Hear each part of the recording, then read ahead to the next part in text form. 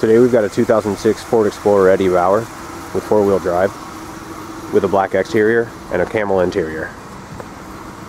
4-liter six-cylinder engine with an automatic transmission. Current mileage is 110,625 miles. Rear parking sensors. Cargo space.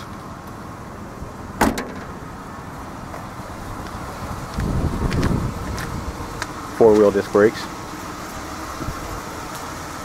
Running boards. Fog lights.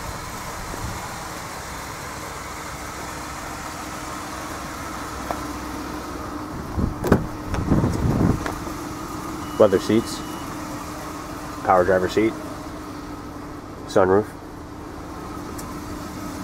power door locks, windows and mirrors, automatic headlights, cruise control,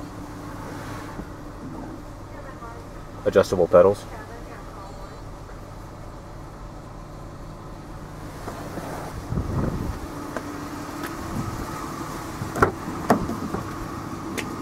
folding rear seat.